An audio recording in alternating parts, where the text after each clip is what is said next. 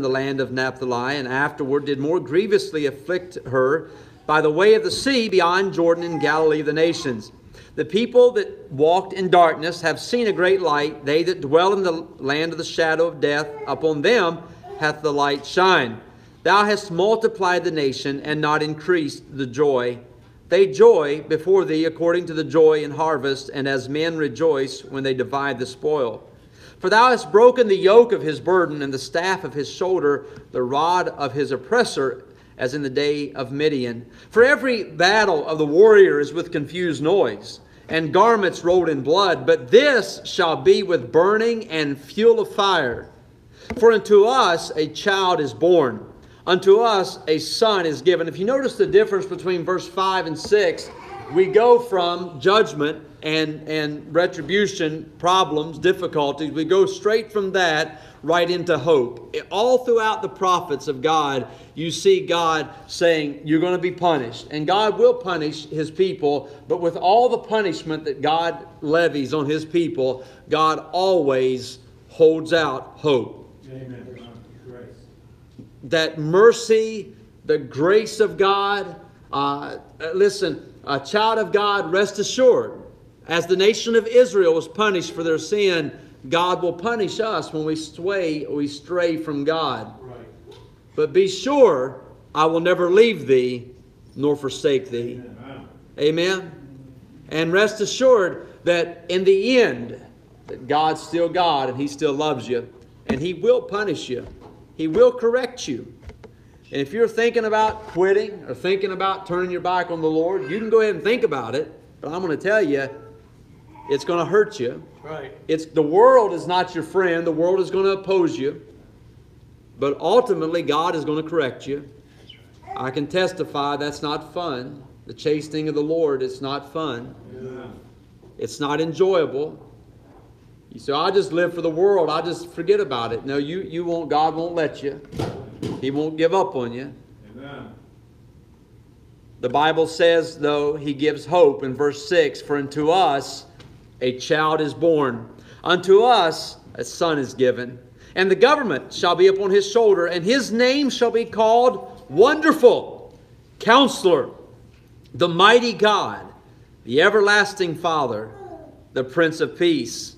Of the increase of his government and peace there shall be no end upon the throne of David and upon his kingdom to order it and to establish it with judgment and with justice from henceforth even forever. The zeal of the Lord of hosts will perform this. Dear Heavenly Father, we thank you this morning. Lord, I don't want to preach long. Sometimes I do, regardless of what I want to do. Lord, I want to preach the message, Father. The time's short. It's always short, it seems. But God, help us to bring the message this morning. I pray, God, please let somebody listen. Please let someone hear and let their life be changed by this. The world needs to hear this message this morning. There's so many confused people that, Lord, if we would just but sit down and listen to the counsel of God, yes. to our Christ, it would be all different. Lord, we just don't listen to you enough. And because of it, Father, we struggle so greatly. Help us, we pray in Jesus' name. Amen. I want to I want you to notice that word. Would you please have a seat? Notice that word there that Christ and it says that he shall be called wonderful. We spoke about that last week, meaning mystery. I have not seen nor ear heard. Listen, uh, you don't know what all God wants to do in your life, but I promise you, God wants to do things that once it comes to pass, all you can do is look back and say, Wow, that was wonderful. That had to be God. That I couldn't have I could never have schemed it that good. I could never have planned it that good. Nothing that I could have done could have made it so good. That had to be God. It was wonderful. I had no idea that God was going to do something so wonderful. And that's what God wants to do in our life. Mystery, unknown, things not yet come to pass, but if we just would learn to trust God and walk with Him and let God have His way, I promise you at the end of the day, you'll look at it and say, wow, that was wonderful. It was wonderful the mate God provided me. It was wonderful the life God provided me. What a wonderful job God gave me. What a wonderful way that God's allowed me to live. Listen, we need to learn to let God be wonderful in our lives. I promise you that would change your life. He shall be called wonderful. One day, uh, we'll know him as wonderful. I listen. Uh, uh, the, the the lady, the the prince, the, the queen came to Solomon. I have not seen nor ear heard. She said the half has not yet been told. She said I came to see, but I couldn't imagine all that I saw. The half has not been told. And someday we go to heaven, and uh, during the millennial reign of Christ and and the new heaven and the new earth, I promise you, no matter how good you ever heard it would be it'll not be nearly as good as what we find it to be. Not one one thousandth of a percent as wonderful as what it is could I ever present it to you today as a preacher. Heaven, eternity with God is going to be far more wonderful than what anybody will ever say. Truth of the matter is, as I think about it, I get anxious to go. Amen. But I'm glad that while I'm here, I get to call him wonderful also. And I can testify, I've seen God do wonderful things in my life. But here this morning, I want to talk to you about something else about counselor. Yeah. Oh, how we need to know him and to be able to call him our counselor. Right. I, I believe that one of the great troubles of our world today and of our nation today is we've forgotten God as our counselor. Yeah. I believe there was a day, if you remember the story, the founding fathers were kneeling to pray, and there's different editions of the story, but one of them uh, said, uh, how, how could a, how could a, how, if, if a bird uh, cannot uh, uh, uh, rise and fly, or how could a nation rise, and how could we do this unless we first go to God? We need to pray, man. And th- those founding fathers, as they were writing our founding documents, they stopped what they were doing, and they got on their knees and their face before God, and they had a prayer meeting, and they began to consult God to find out, God, what would you have us to do? I remember the story of, uh, of George Washington and uh, the battle was not going well at the Valley Forge, and, and it seemed like that they were not going to make it. And one of the men was going home for leave, and he had got up early in the morning, and as he was leaving out, he saw General Washington in the woods in the early morning, the sun coming up. He saw him pray.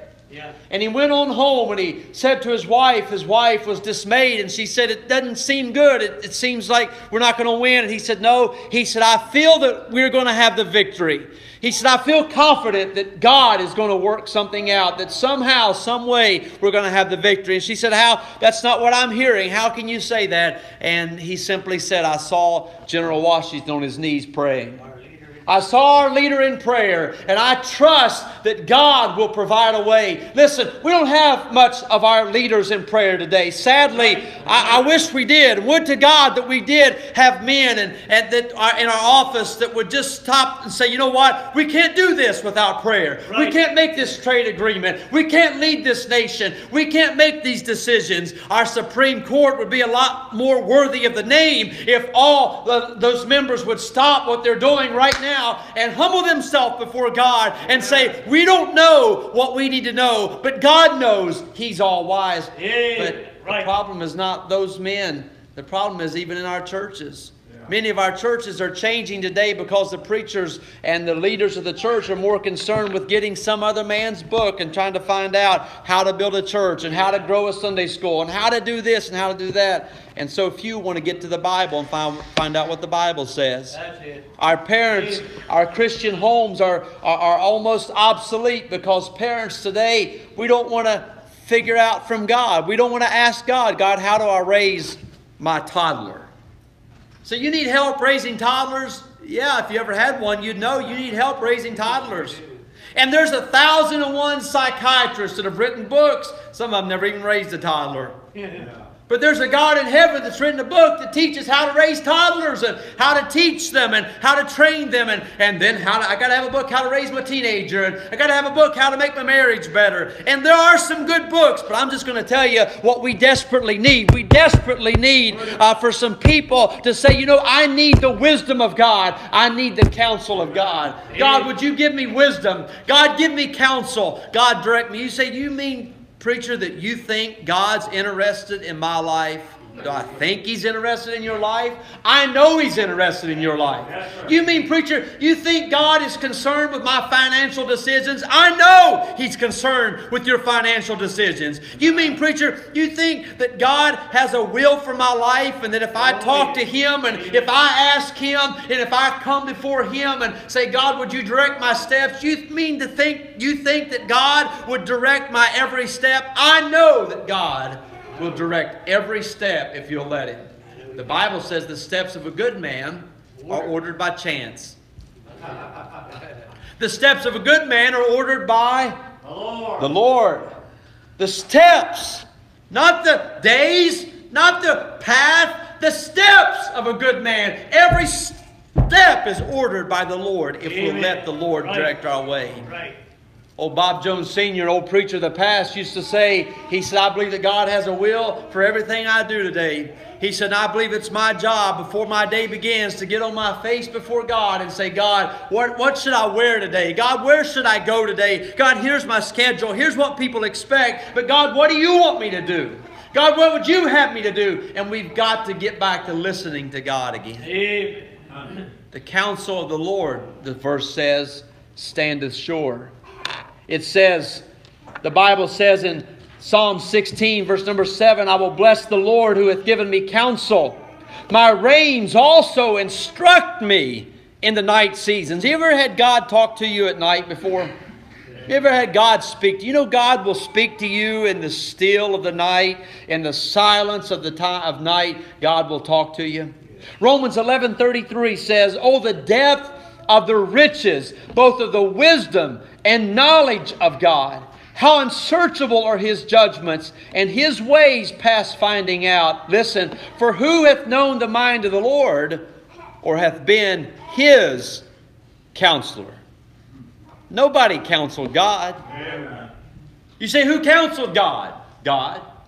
You see, boy, that must be why uh, that everything that God did, He did right. Exactly. Everything God does, He does right. But God, God got news for you, young person, adult, old person.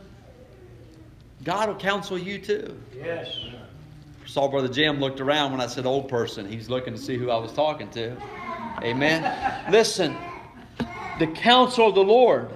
The Bible said in Proverbs 19:21, there are many devices in a man's heart.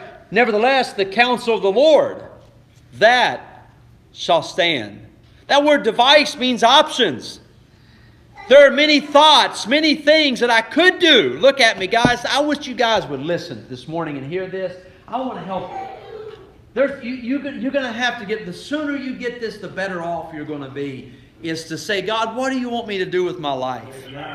I mean, look, it's not that far until you're going to have to have one of these right here, and it's going to have money in it, and what's in it is going to be responsible for your wife smiling and for the refrigerator being full of food and what's in it and what comes out of it and, and it's going to be responsible Brother Mums, for, for what comes to the house and what's in the cupboard and what's in the pantry. And sometimes you're going to look in there and there's not going to be enough in there and you're going to say god what do you want me to do? And, and how are you going to do it? And, and god uh, uh, and, and god's going to direct you uh, you know in ways to help you to keep that thing filled up. And, and look it's far better if you go ahead and start now Ladies and gentlemen, it's kids, it's far better if you go ahead and start now asking God how to deal with that stuff than to wait until there's an emergency. What do I do now? What do I do now? That's where the world is today. The world, that's where our country is today. Man, who even knows what the deficit is in America? God help us. We can't even begin to imagine the idea of what the deficit. You know what that is? That's the fact that America has spent our money unwisely. We've put money where we didn't have money. We've traded. We've done dumb things and, and made wrong deals. Why? Because we've forgotten God. That's why. And the further we get from God, the dumber our choices are going to be. Exactly. We desperately need to get back to God. And, and listen, I'm not just trying to preach a good message this morning. I'm begging you folks to hear me and to listen. And we, we need people today. Doesn't have to be a big group, a group this size of people that would just, and listen, God would be so honored and so glad if a group like this would just wake up tomorrow morning and say, God, I want to do your will today. Yeah, what do you want me to do? God, how do you want me to order my life? Listen, I promise you, more than I could implore this morning, God in heaven is imploring. He's begging some people down here on this earth to let Him be God. And part of His being God in your life, a big part, is being your counselor. Jesus wants to direct you, God wants to direct your steps. Yes, he does. But we're in such a hurry. I've talked to people this week. We, we live and die by these things called phones. I mean, it, it orders. You, you remember there was a day when you used to not have a phone? Amen. You remember that? And you and you remember? I remember when there was a day we didn't even have an answering machine. I remember we got one so that the, when the Boilermakers called, my dad could not answer the phone and hear what the message was so he could make a choice whether or not he wanted to go on the job or not. Because if he answered it and it was the dispatcher and he said no, then he had to, and then he went down on the list, you know, so he wanted to be able to act like he wasn't there, you know. And uh, so that's why we got an answering machine. But now we've got cell phones and we've got text messages and we've got Messenger on Facebook and you can't hide. Yeah. They'll find you wherever you go, but the only thing is we've somehow managed to hide from God. Uh-huh. So we think. And, and we're not getting the wisdom from God that we need. And we're not getting the counsel from God that we need. I'm going to tell you something. You desperately need, and I desperately need time away from all that noise to do what is called walking with God when we just hear from no one but God. When we agonize before God and say, God, what would you have me to do? I would dare say that every single day in the earthly ministry of Jesus, you would have found him early in the morning walking with God. And some evenings at the end of a long day of ministering to people, Jesus would say, We have record. He would say to his disciples, Fellas, excuse me for a while. I have somewhere to go. Yeah. A board meeting? No. No. A dinner? No. A show on tel- No, God, no, no. Jesus, you mind may ask where you're going? Well, I'm going out to the garden, out to the woods. What will you do out there? I'll meet with my Father.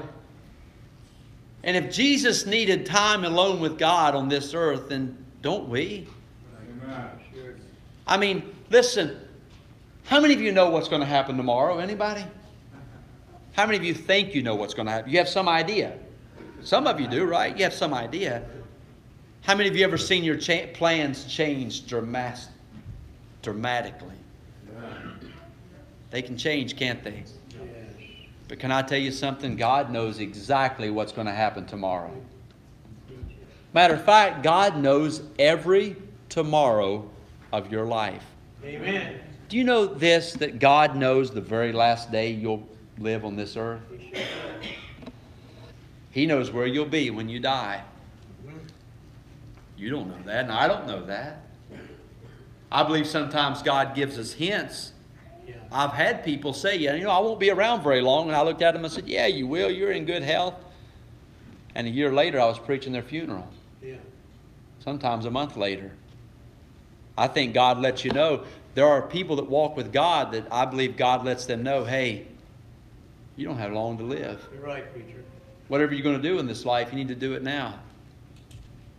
You know, none of us, none of us have a guarantee of a long life. No.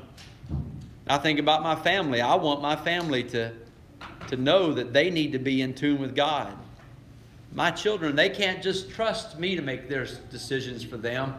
They need to know the God that I trust to help me make my decisions for them. Mm-hmm. So someday I won't be there to make decisions for them. That's right. They need to know God. And you need to know God.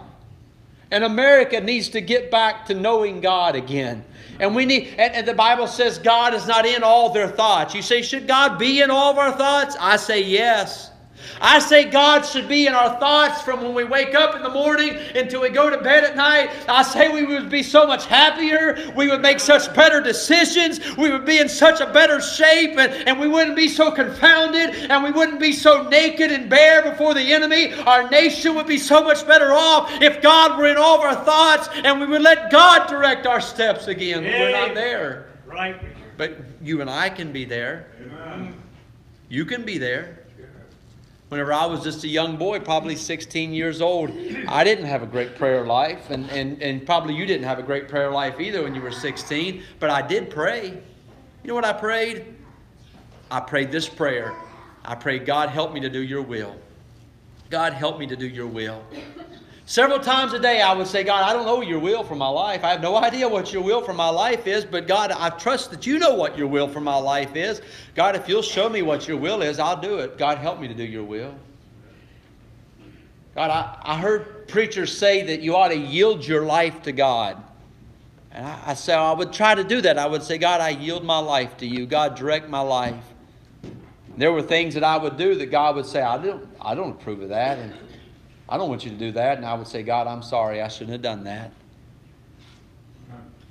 Can I tell you something that God will correct you and God will lead you? Yes, How many of you drove here this morning? Raise your hand if you drove here. How many drove here? How many of you, when you were driving, you had a steering wheel? You know, you, you know, when you're a little kid, you get in a car and you think you, you, know, you think that's how you drive. How many of you ever did that? You remember? I remember. Man, you get behind the steering, you just twist. You ever try that when you're actually driving? You'll, you'll get pulled over and you'll get a thing called DUI, and uh, and you don't drive like that. Amen.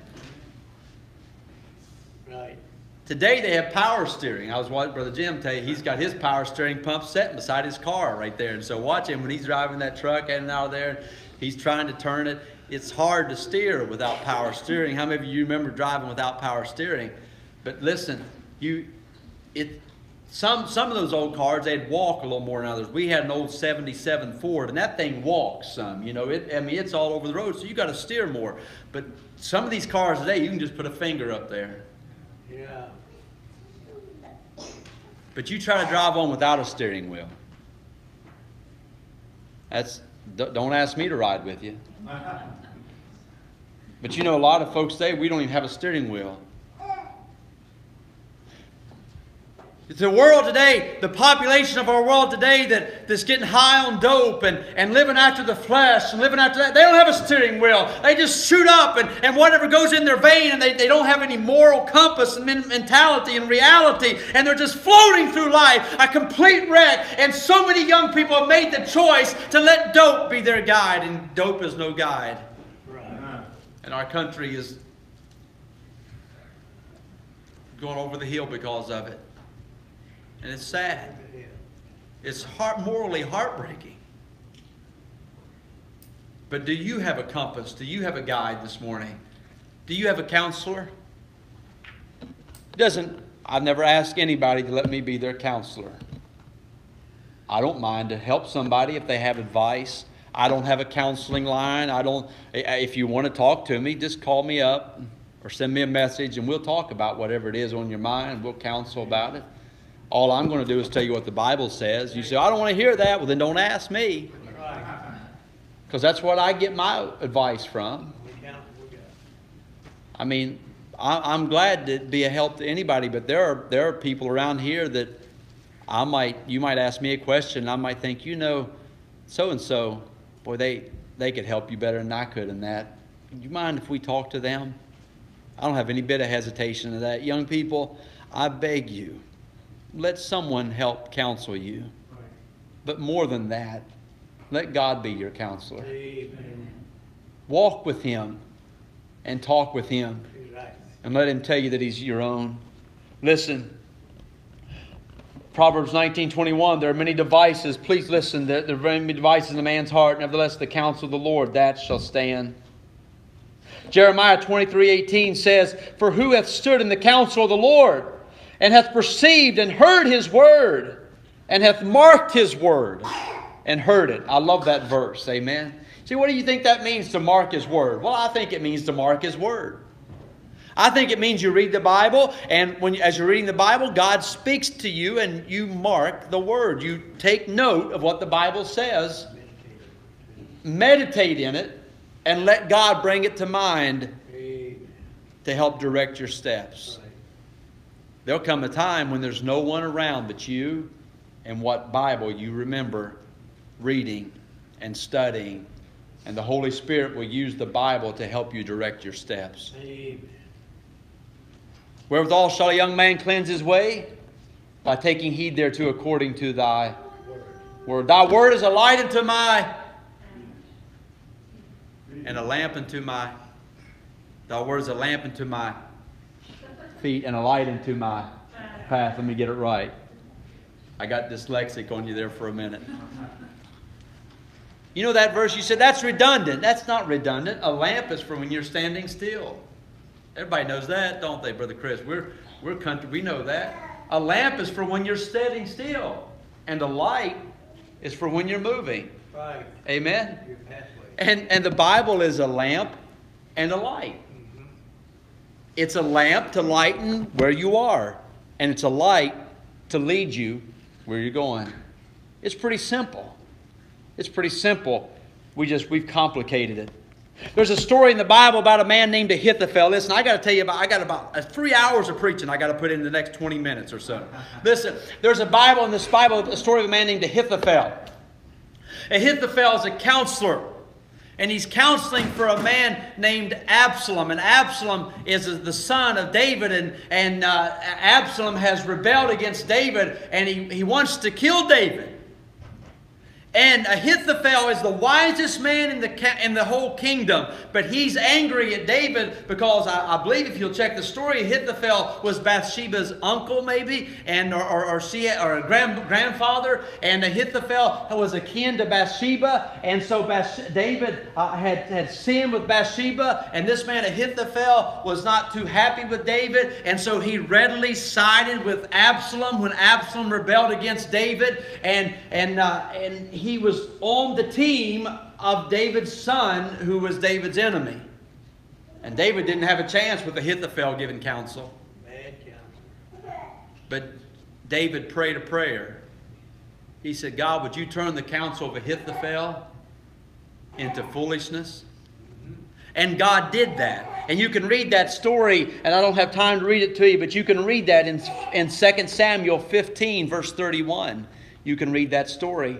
There's a story in the Bible about a man named Rehoboam. You ever heard Rehoboam? Yep. He was the son of Solomon. Right. When Solomon died, Rehoboam uh, wanted to know how to lead the kingdom. So here's what he did. He went to the to the old men, and then he went to the young men. And he said to the old man, Tell me what I should do. And the old man gave him good counsel. And the young man gave him some bad counsel. And Rehoboam thought about it. He said, You know what? He said, I'm going to do what those old those young men did. And whenever he did, you know what happened? The kingdom split. Amen. And there became a northern and a southern kingdom. And guess what? Israel still split, and it'll not be made right until the counselor Exactly. comes. Amen. Amen. Right. It's still split. Why? Because of bad counsel. Can I tell you something? Listen, the Bible said in Psalm 16, verse number 7, if you want to turn to it, you can. It said, I will bless the Lord who hath given me counsel. My reins also shall instruct me in the night seasons. I have set the Lord always before me. Because he is at my right hand, I shall not be moved. Therefore my heart is glad, and my glory rejoiceth. My flesh also shall rest in hope. For thou wilt not leave my soul in hell, neither wilt thou suffer thine Holy One to see corruption. Thou wilt show me the path of life. Thou wilt show me the path of life. In thy presence is fullness of joy. At thy right hand there are pleasures forevermore. That word set is the key word. Boy, I would tonight, this morning, that I had time. You've got to mark beside, you've got to take your Bible, turn to Psalm 53, if you would. Turn to Psalm 53. I, I'm giving you some homework today. not because I'm in a hurry, but I want you to read the story. I'm going to explain to you and then let you read the story. Turn to Psalm 53. I'm just going to give you a Psalm 54. I'm sorry. Psalm 54. Listen. Save me, O God, by thy name, and judge me by thy strength. Hear my prayer, O God. Give ear to the words of my mouth. For strangers are risen up against me, and oppressors seek after my soul. You see the colon there? Mm-hmm. Someone say the, or in unison, let's read the next part of that sentence. They have not set God before them, Selah. That word Selah means pause. Yeah. Because that's the key right there. That right there is the key. Now let me give you the story, and you can read this yourself in 2 Samuel or 1 Samuel 23. You can read this story. I beg you to read it later. But in 1 Samuel 23, one of my favorite stories in the whole Bible takes place, and it's a story involving David, and he's a brand new leader. He's got a band of men that really are just castaways. And so he has this band of men, and he hears that a, that a, a part of Israel has been taken captive by the neighboring enemies. And he says to God, He said, God, should I go and should I help? And David doesn't know. In his heart, he feels like he should go. But he's a, David is a wise man here, and he says, God, I don't know what to do unless you tell me.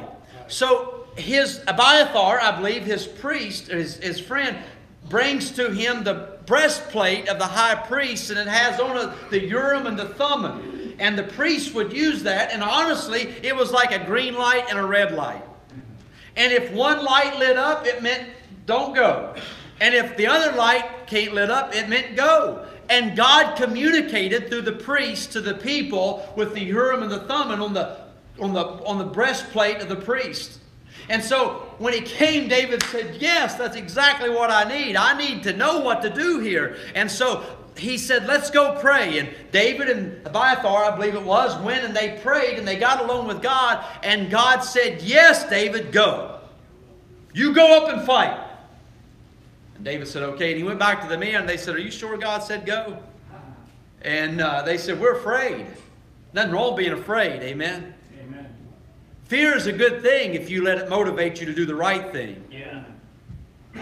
Hesitation to do wrong or to make the wrong choice is a good thing if you'll stop and go talk to God about it. So many choices and so many bad decisions could be spared if we would let God, when, when, when that flag comes up and God says, wait a minute here, then wait a minute and consult with God and see what His wisdom is. So David went back again. He went back and told the men, he said, God definitely said go. You can read the story. He may have checked a third time. I can't remember. Maybe even a third time. Finally, the people said, okay, David, if God said go, then we'll go. Well, then another thing happened. It's the city of Keilah, Keilah, that's under siege, and David rescues the people, sets them free. At the same time, David has an enemy named Saul. Saul's trying to kill David. So somebody says, Hey, Saul, we know where David's at. He's in the strongholds of Engedi by Keilah. He's hiding there. And word gets to David that he's been ratted out. And you know what David did? He got afraid again. You know what he did when he got afraid? He went and talked to God. Boy, I tell you what, there's a, there's a reason for David's success. Do you think David consulted with God when he had Bathsheba called over to his house that day? No. That was his own counsel. That was his own wisdom. That's a mistake on his part. I'll tell you why. He didn't ask God about it. But so in this case, though, David is doing right. And David said to God, he said, God, he said, if, if I go up there and he said, I save these people, he said, are they going to rattle me out? And God said, yep. Wow. What am I going to do about it? God said, I'll take care of you. So David is in the strongholds of Engedi, and Saul is, he thinks that God has delivered his enemy to him because Saul is messed up. He's operating with his own mind. And in his mind, he thinks that God's on his side. And so David is all the way at the very top. It's over. It's over. There's nowhere to hide, there's nowhere to go. He's on one side of the mountain, just around the bend. Saul and his army is coming, and David's dead. Nowhere to go. David's praying, God, you, you told me you would take care of me, and this is it. At the last moment, the cavalry comes. You know, in the movies, the cavalry is always late. Yeah. But God's Calvary is always right on time. Follow, I want you to see something. We're a discouraged people today. Christians are nervous. We're afraid. We don't know what we're going to do. That psalm said, The zeal of the Lord will perform it. God's still God. He's still in control. If you and I are sweating, it's mostly because we're sweating life without God's wisdom. Because God knows what He's going to do, and God can take care of you, and God can provide, and God loves you, and God cares, and God will see you all the way from the beginning to the end. And David's in a mess, and he's saying, God, what are you going to do? At the very last moment, a messenger comes from the city Saul, Saul, stop what you're doing. Home is under siege. Head back, Saul! And Saul turns his men and his army and he leaves David alone and he goes back. And David's up there and he's thinking, wow, that was too close. God was in control. And then the tears in his eyes and he said, God, I was doubting you. God, I, did, I thought it was all over. I shouldn't have doubted you, God. You're true to your word. The counsel of the Lord standeth sure.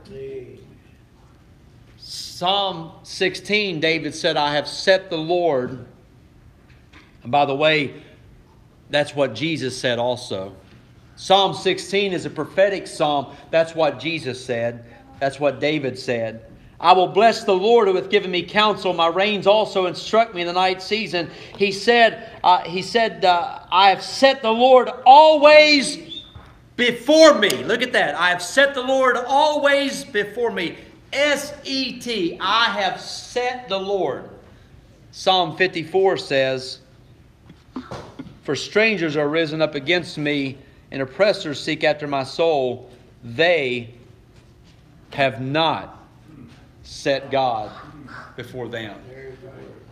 You see, listen, if you get this, I promise you, the anxiety, the nervousness, the concern, you say, Preacher, what, what are we going to do about the Illuminati? Well, they, they've been around for a long time. What about the New World Order? I mean, you listen to all these people, and I've known about them, and I know about it. Man, I remember a fellow one time, every time a helicopter would fly over, he'd dive in the trunk of his car, hide underneath somewhere. I mean, what are we going to do? The United Nations, I'm worried about it. Hey, I believe every one of those enemies are real. I believe, er, I believe the liberals hate the work of God. I believe there's groups in America that want to shut down the churches. I believe they'd like to do away with every King James Bible believing, Bible preaching preacher. I believe they like to wreck and ruin the lives of young people. I have no doubt in my mind that there's a conspiracy against God's people, and the devil and the hordes of hell would love to destroy your life and shut down churches like this and silence the soul winners.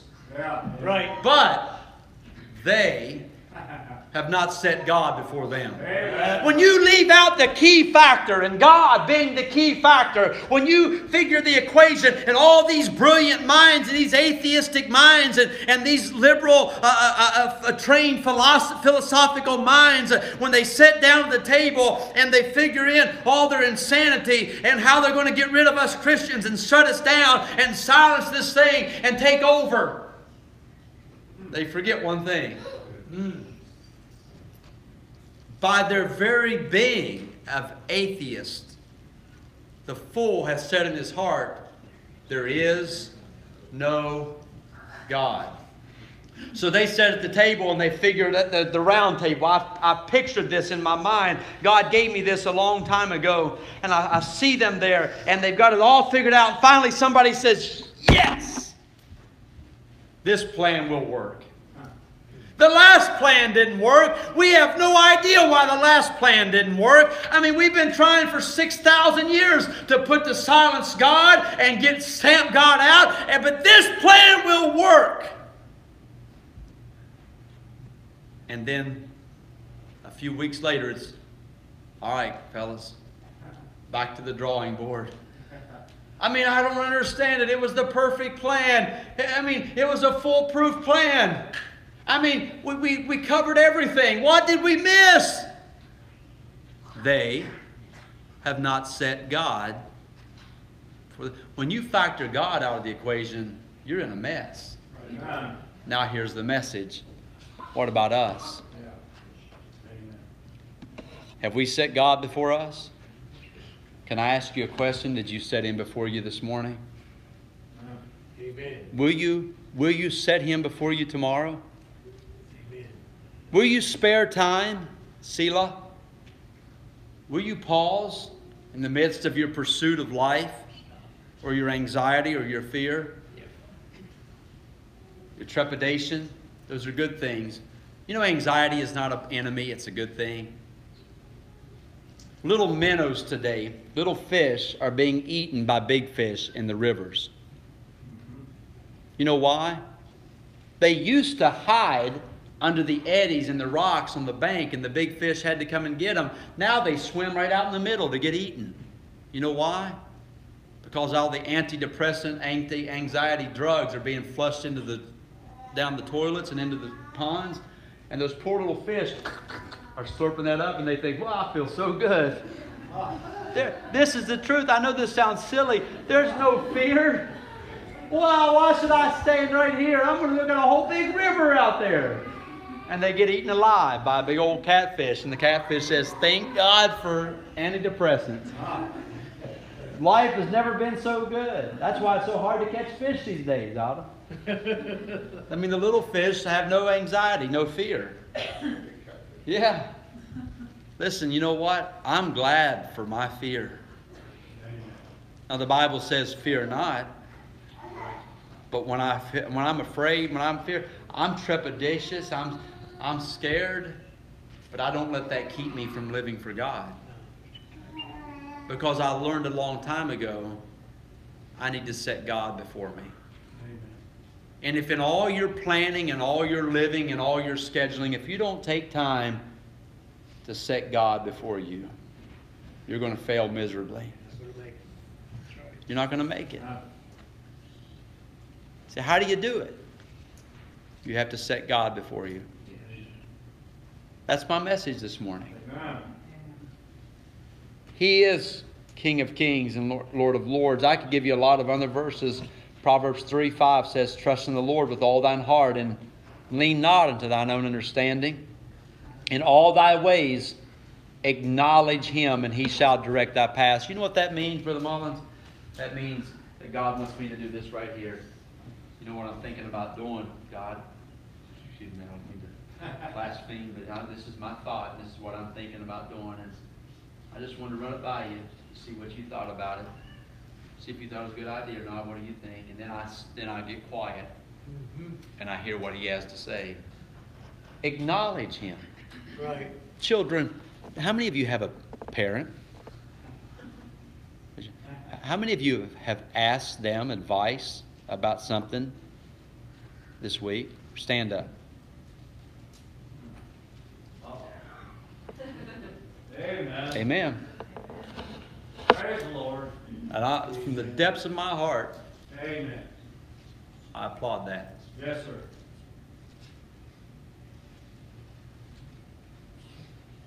My dad's been going 12 years. I, I can't ask him anything.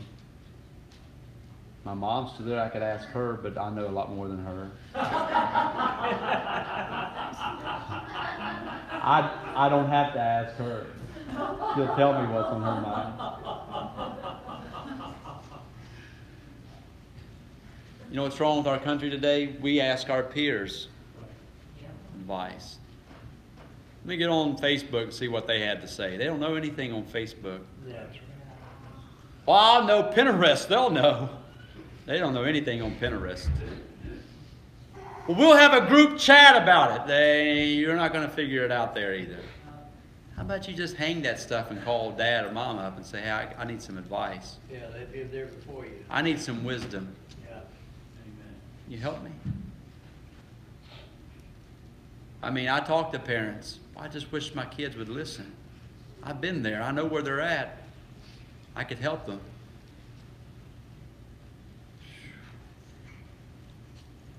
So many verses. Listen to this. 2 Corinthians 2:16 says, "For who hath known the mind of the Lord that we may that he may instruct him? But we have the mind of Christ." It's and you me explain that to you. It's like a it's like a spare tire you have in the trunk of your car. You have the mind of Christ, and every time you have a decision to make, you have the option to go out and get the mind of Christ and say, "Mind of Christ, help me make this decision," or else you have your own mind. And how many times we leave the mind of Christ in the trunk of the car, Yeah, like a like a spare tire, and say, "I don't need it today." I'm not broke down today. I'll save the mind of Christ for when I'm broke down. Don't do that. Is he who will be called counselor, mighty God, wonderful? Is he your counselor today?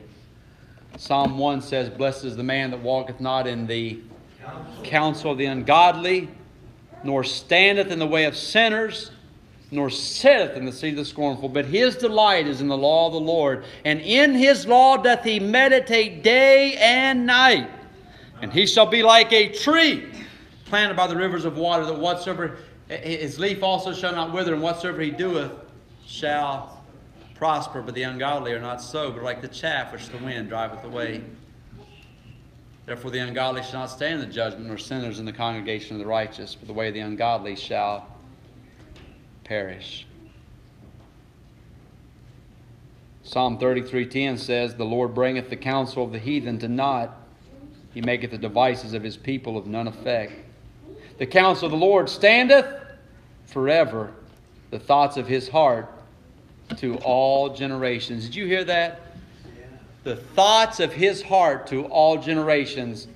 The next verse says, Blessed is the nation whose God is the Lord. You know why some young people do better than others?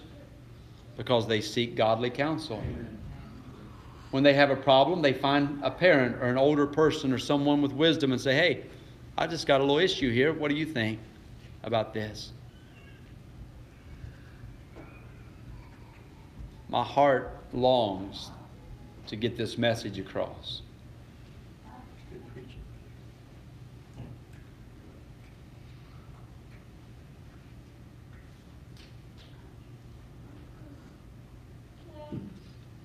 I've considered making a lot of bad choices, a lot of bad decisions. And I'm glad God has been there to give me counsel, Amen. To direct my way. I learned fairly a long time ago my name, Travis, means at the crossroads. I feel like I've been there a lot of times. There's a lot of times I could go left or I could go right, but the Mullins, I didn't know which way to go. Mm-hmm.